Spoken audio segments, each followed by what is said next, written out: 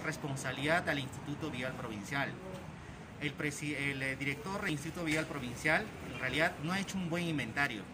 Si nosotros vamos a otras provincias, la inversión no es 14 millones, la inversión es más de 30 a 40 millones. Hangas no está focalizado dentro del inventario que ha hecho el Instituto Vial Provincial, Taricá y otros distritos.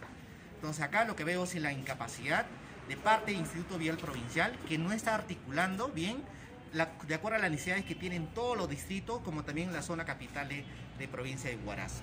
Entonces, y eso requiere una articulación desde el gobierno provincial junto con su Instituto Vial Provincial. Ahí hay que también una llamada de atención, señor alcalde, mayor articulación porque nosotros no hemos sido beneficiados, nosotros hemos presentado ya expediente técnico, en este momento está también punto de ser financiado ese, el mantenimiento de, de todas las carreteras a nivel de Jangas por 800 mil nuevos soles el gobierno eh, regional. También hemos presentado al gobierno provincial, le hemos presentado a Pro, Pro, descentralizado pero hasta ahora no veo eh, que están coordinando adecuadamente pro, descentralizado junto con gobierno provincial y creo que ahí hay una llamada de atención por falta de articulación. En realidad, capacidad técnica es lo que faltó al Instituto Vial Provincial para que más millones salgan a la provincia de Huaraz y, de esa manera mayor beneficio a todos los distritos de nuestra capital. Prácticamente se ha licitado las obras y se tiene entendido que están cambiando las bases, pero las bases ya están normadas.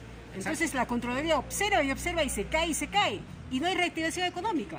Exacto, en esa parte es una llamada de atención, señor alcalde, mayor mano dura a sus funcionarios.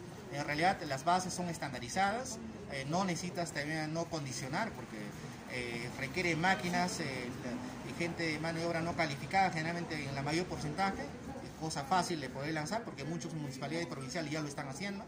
En Janga nos estamos quedando, lo mismo a nivel de, a nivel de región, eh, si uno ve, hay muchos distritos, provincias de otras regiones, que, otras provincias que están sacando muchos proyectos, pero a nivel de Huaraz, Independencia y otros veo que hay muy pocos. Ahí lo que falta es capacidad técnica parte de equipo.